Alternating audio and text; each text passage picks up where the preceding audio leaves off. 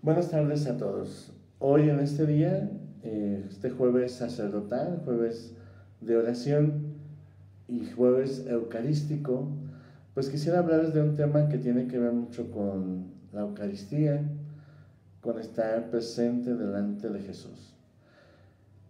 En estos días eh, que hemos estado viendo esta contingencia sanitaria, se nos ha hablado mucho acerca de, una, de un acto espiritual llamado comunión espiritual.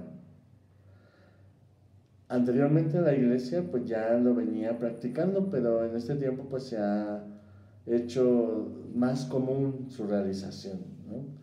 Por eso quisiera hablar acerca de este tema, que es la comunión espiritual, que es cómo se realiza y cómo nosotros en nuestra casa podemos llevarla a cabo ante esta situación especial. Primero quisiera comenzar con qué es la comunión espiritual.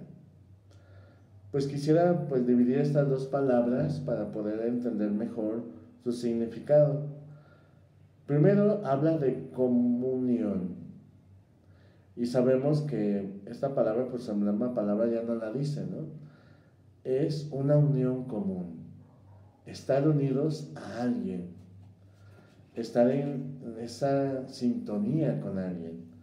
Y espiritual, pues ya nos lo dice también, no solamente es una comunión o una unidad de ideas, de sentimientos, sino de espíritu, de intención.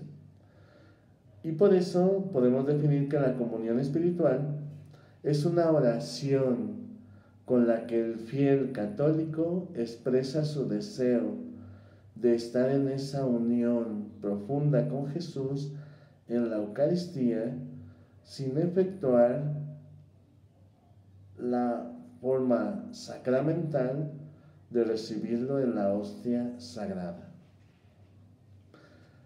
¿Cómo es esto? Pues es la que nos ayuda a poder vivir en esa unión profunda con Él, aunque no lo recibamos de manera sacramental. Esta comunión espiritual, normalmente o en casos, mm, digamos, comunes, la podemos realizar antes de la Eucaristía. Poder preparar nuestro corazón, nuestra mente, nuestra voluntad, nuestra persona para poder recibir a Jesús.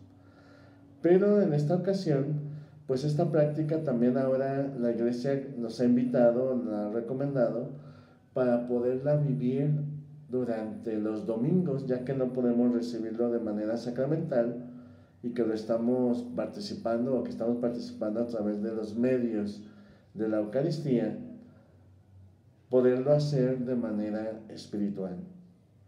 Esto, pues, esta comunión espiritual ha sido recomendada por muchos santos ya desde los primeros siglos.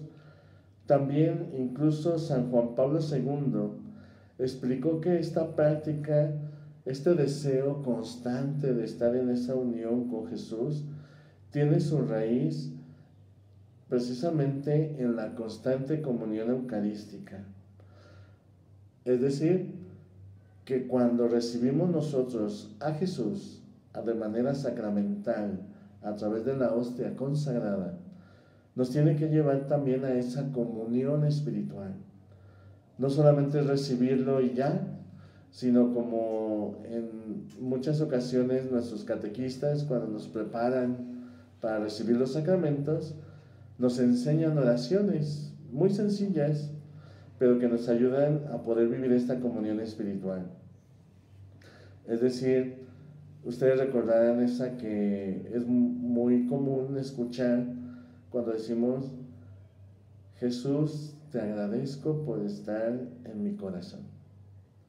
Esas oraciones sencillas que aprendimos de niños nos ayudan a vivir esa comunión espiritual en estos momentos, que va hacia esa unión profunda con Dios. De hecho, ya San Ignacio de Loyola en sus ejercicios espirituales nos habla de esto. Es el deseo de parte del hombre buscar esa unión y comunión con Dios. Es el fin último de todo ser humano. Por eso, ¿cómo ha considerado la iglesia esta comunión espiritual? Es un premio, ya que de manera que no podemos comulgar sacramentalmente, lo hago de manera espiritual. Y por eso es importante que esto es solamente un medio, es una preparación, porque aunque en estos momentos estemos llevando esta comunión espiritual, debemos tomar conciencia de que no debe de llevarnos a sustituir la comunión sacramental.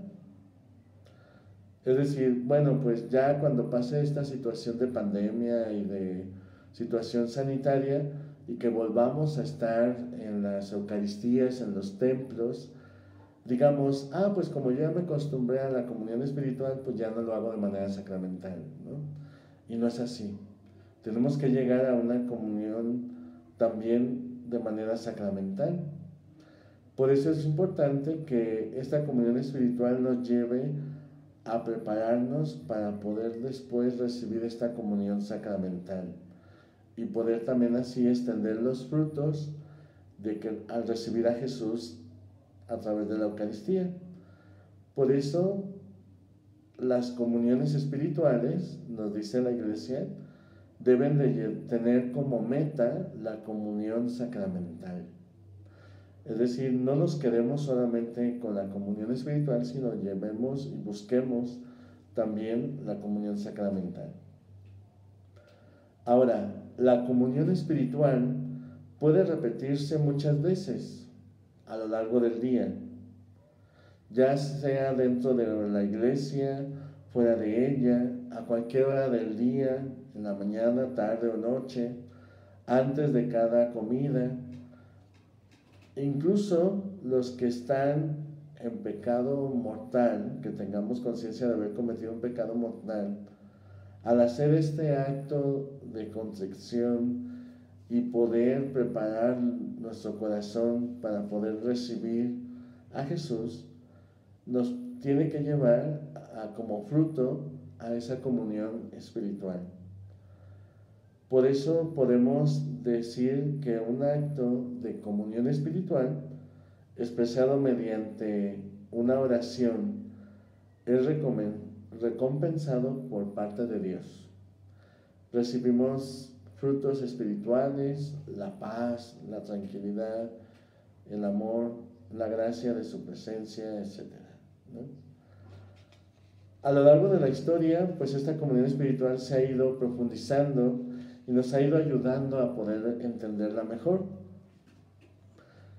Por ejemplo, en el concilio de Trento, la comunión espiritual, decía tomando a Santo Tomás de Aquino, es un deseo ardiente de recibir a nuestro Señor Jesucristo de manera espiritual.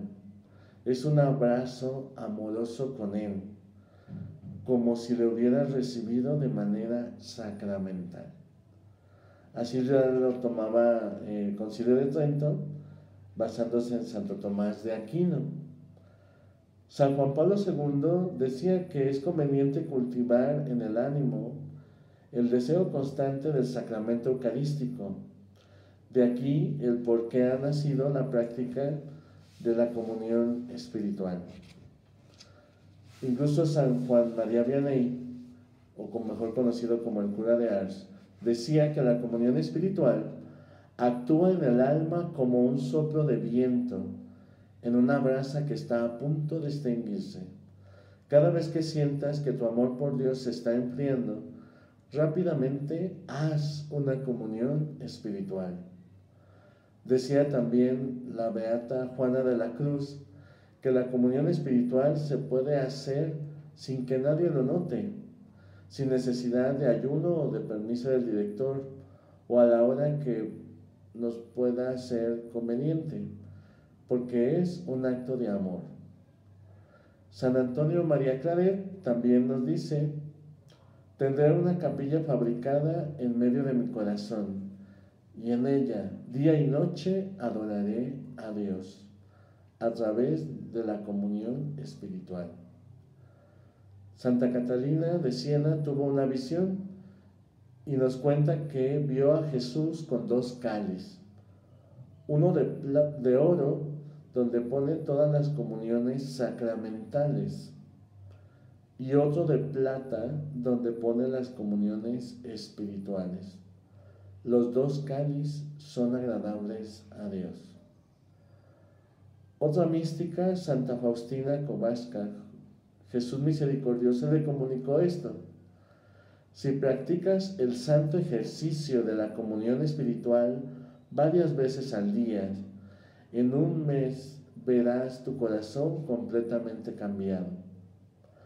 Santa Teresa de Jesús escribió, cuando no puedas comulgar, oír misa, puedes hacerlo de manera espiritual que es mucho lo que imprime el amor a Dios.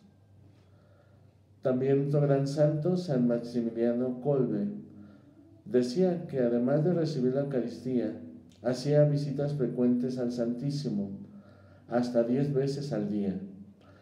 Esto no fue suficiente para él y siguiendo a San Francisco de Sales decidió hacer comuniones espirituales cada 15 minutos. San José María Escriba de Balaguer aprendió de un padre escolapio la oración de la comunión espiritual cuando se preparaba para hacer su primera comunión. Hay muchas oraciones que constantemente se frecuentan para poder hacer una comunión espiritual. Un ejemplo de ella es la siguiente. Podemos decir, creo Jesús mío, que estás en el Santísimo Sacramento. Te amo sobre todas las cosas y deseo recibirte en mi alma, ya que ahora no puedo hacerlo sacramentalmente. Ven al menos espiritualmente a mi corazón, como si ya te hubiese recibido en la Eucaristía.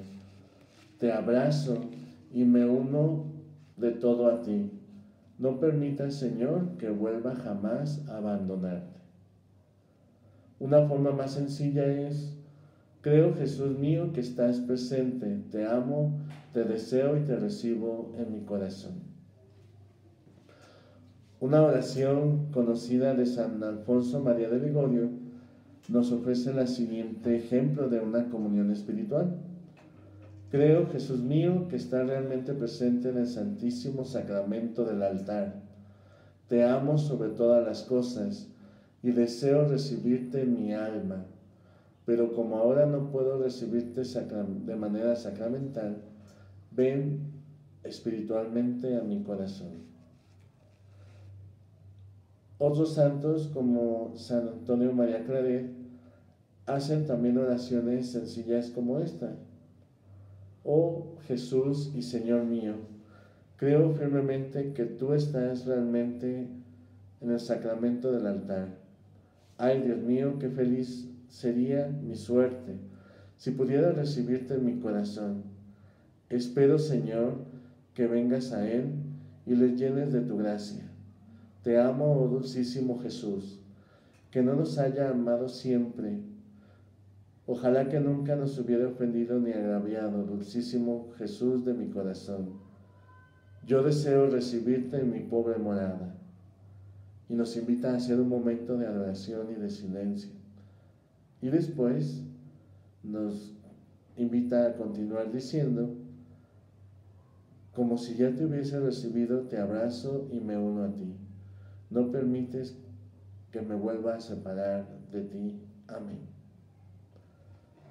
Hay una oración que de manera eh, particular me gustó mucho, que es utilizada por, por el Papa Francisco y que dice lo siguiente, a tus pies me postro, oh Jesús mío, te ofrezco el arrepentimiento de mi corazón, que se hunde en la nada ante tu santa presencia. Te adoro en el sacramento de tu amor la inefable Eucaristía y deseo recibirte en la pobre morada que se ofrece, que es mi propia alma, esperando la dicha de la comunión sacramental. Quiero ya poseerte en espíritu. Ven a mí, puesto que yo voy a ti. Oh mi Jesús, Que tu amor inflame todo mi ser, en la vida y en la muerte. Creo en ti, espero en ti, te amo, así sea. Todas estas oraciones que he compartido con ustedes nos pueden ayudar a que nosotros pues, podamos también realizar nuestra propia oración espiritual que nos ayude a poder vivir esa comunión con Él. Sencillamente es una oración de agradecimiento, darle gracias a Jesús. También dentro de esta oración de acción de gracias es poder realizar un acto de fe. Creo, Jesús, que estás aquí. Porque si ustedes recuerdan, eh, Jesús no solamente se ha quedado presente en los misterios del cuerpo y la sangre de Cristo a través de los sacramentos. También Jesús mismo llegó a decir que su presencia la podemos encontrar cuando dos o más se reúnen en su nombre. Por eso es importante reconocer la presencia de Jesús y poder hacer ese acto de fe. Creo, Jesús, que estás aquí presente, aunque mis ojos no te ven. Te siente mi fe. Esta es nuestra experiencia de una comunión espiritual. Y así la podemos realizar a lo largo de nuestro día, en la mañana, al despertarnos, podemos iniciar con una comunión espiritual. Señor, gracias por el don de la vida, gracias por el don de la fe, gracias por tu presencia, gracias por poder recibirte en mi corazón, gracias por la familia, gracias por estar en un hogar, gracias por la salud y después poder hacer ese acto de fe. Señor, sé que tú estás presente en mi hogar, en esta iglesia doméstica, en este lugar de oración. Sobre todo, Señor, eh, te reconozco presente en mi corazón. Sé que tú estás en él. Y después, finalmente, poder, después de dar gracias y después de hacer ese acto de fe, poder pedir, Señor, que pueda vivir en tu presencia durante todo este día que pueda reconocer tu voz, pedir aquel don, aquella gracia que necesite nuestro corazón, que necesite nuestra vida. Y así podemos vivir esa petición o esa promesa, como la podamos entender, de Jesús en el capítulo 15 del Evangelio de San Juan, que nos dice lo siguiente, ¿cuál es el deseo de Jesús? Permanece en mí en comunión conmigo, porque el que permanece en mí da mucho fruto. Este es el deseo de Jesús. También Jesús lo manifiesta con otras palabras en el Evangelio de San Juan, en el capítulo 17, que sean uno como tú, Padre, estás en mí y yo en ti, que ellos también sean uno para que el mundo crea. Este deseo de Jesús de permanecer unido a Él, de estar con Él, de ser uno con Él, esto es la comunión espiritual. Es poder vivir en esa misma intención, en esa misma comunión, en ese mismo diálogo. Por eso les decía al inicio, comunión espiritual se refiere a tener una misma intención. ¿Cómo se puede entender la comunión espiritual? Pues lo vemos reflejado en, la las primeras comunidades cristianas, reflejadas en los capítulos 4 y en el capítulo 2 de los Hechos de los Apóstoles, donde hablan que todos tenían todo en común y sobre todo lo expresa la comunión espiritual de la siguiente manera. Todos tenían un solo corazón y una sola alma. Esto es la comunión espiritual. Poder estar con los mismos sentimientos unidos, con la misma intención unida. Por eso en las primeras comunidades esa comunión espiritual se vivía diariamente, ¿no? Buscando esa comunión con Jesús que les llevaba a vivir en comunión con ellos. Por eso también, eh, en otras palabras, San Pablo en sus cartas utiliza también esta comunión espiritual o habla de esta comunión espiritual, diciéndonos lo siguiente. En el capítulo 2 eh, de la carta a los filipenses, en el himno cristológico, así conocido, nos dice lo siguiente, tengan entre ustedes los mismos sentimientos de Cristo Jesús. Ese tener los mismos sentimientos de Jesús es vivir en esa comunión espiritual, latir al mismo ritmo del corazón de Jesús, en un solo corazón, en una sola alma, unidos en un solo amor, unidos por el Espíritu.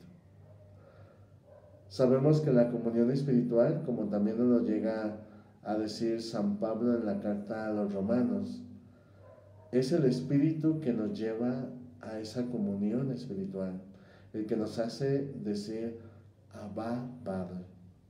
El Espíritu es el que suscita que busquemos a Jesús, que estemos con Él, que vivamos en unión con Él.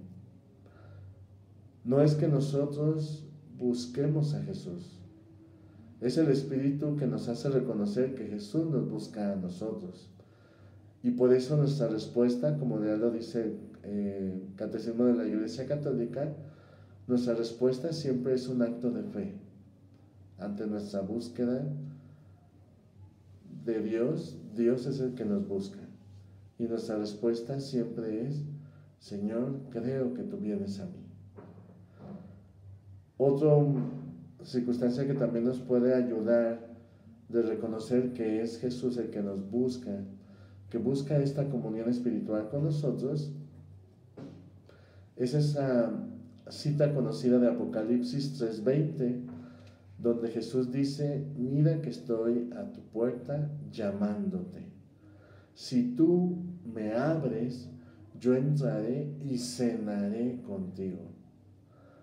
Recordemos que detrás de esta palabra, cenar contigo, comer contigo, está la comunión. De ahí viene esta, este sentido judío de invitar a una persona a la mesa. Es decir, quiero compartir contigo, partir el pan. Quiero estar en esa comunión profunda. Por eso Jesús, al invitarnos a que lo recibamos en el corazón a través de esta comunión espiritual, es descubrir el deseo de Dios que quiere estar con nosotros.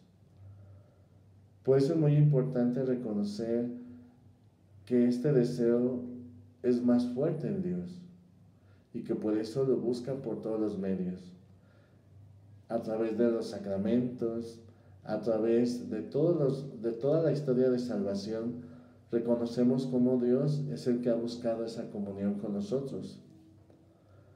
Cuando leemos el libro del Génesis, vemos cómo Dios creó todo para que nosotros estuviéramos en comunión con Él.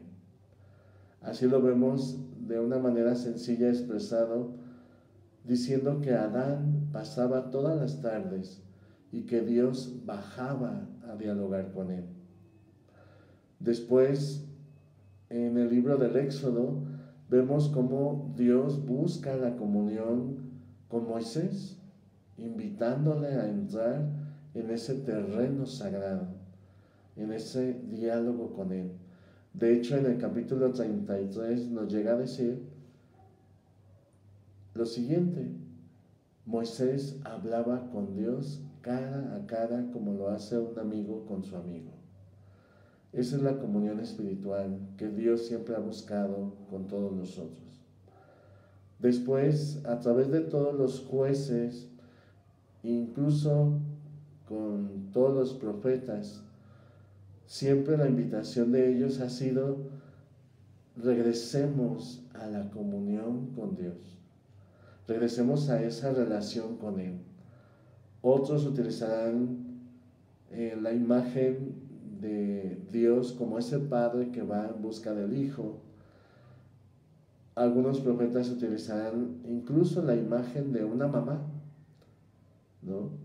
que busca la cercanía con Él. Pero finalmente lo vemos expresado de una manera material a través de la propia persona de Jesús. Yo estoy en medio de ustedes y quiero permanecer con ustedes. Por eso quisiera concluir con esta promesa de Jesús cuando nos dice, yo estaré con ustedes todos los días hasta el fin del mundo. Sabemos que no solamente lo ha realizado a través de su presencia eucarística, sino que también lo realiza a través de nuestra comunión espiritual con Él. Podemos estar todo el momento, todos los días, en cada minuto, en cada segundo con Él, sencillamente abriendo nuestros ojos de la fe. Como lo dice la carta a los romanos, Dios está tan cerca de nosotros que lo único que necesita es que le digamos, creo Señor que estás aquí presente. Que ojalá podamos practicar esta comunión espiritual en todo momento, en cada circunstancia, sabiendo que Él siempre estará ahí para nosotros. Muchas gracias.